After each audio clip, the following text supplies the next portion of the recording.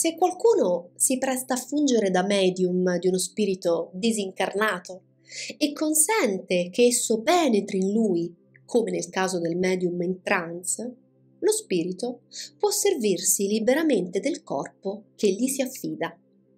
In qualche caso il male è in genere di lieve entità, a condizione che lo spirito non abusi del privilegio avuto.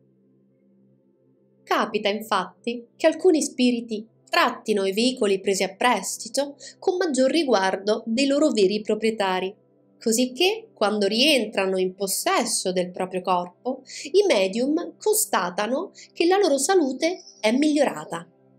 Però questi casi sono rari. Gli spiriti di indole elevata non cercano di esprimersi tramite un medium.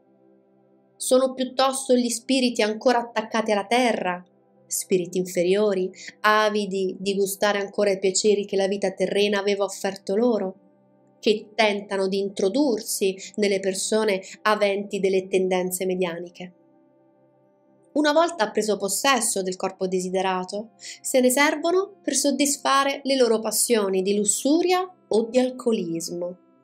Quindi causano dei disordini nell'organismo di cui dispongono. Nel caso di medium di materializzazione, possiamo affermare che la loro influenza è sempre nefasta.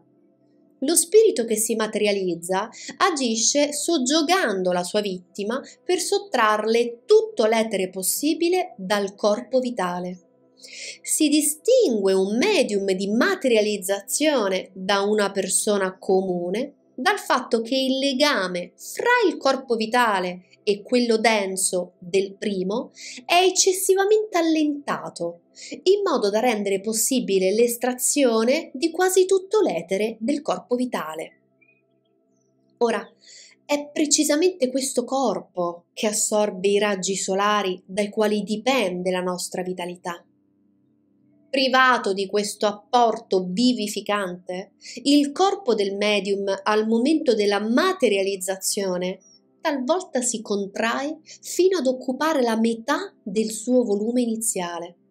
La sua carne diventa flaccida e la sua vitalità sembra scomparire. Alla fine della seduta il medium riprende coscienza in quanto il suo corpo vitale riprende la posizione normale, però si sente spossato per cui ricorre spesso allo stimolo alcolico per rigenerare la forza vitale che si è esaurita.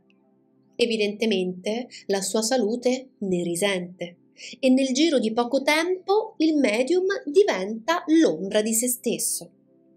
Quindi è opportuno evitare di praticare la medianità poiché oltre ai pericoli che abbiamo esposti, altri che interessano i veicoli più sottili del medium sono da temere, soprattutto nel periodo che accompagna e segue immediatamente la morte.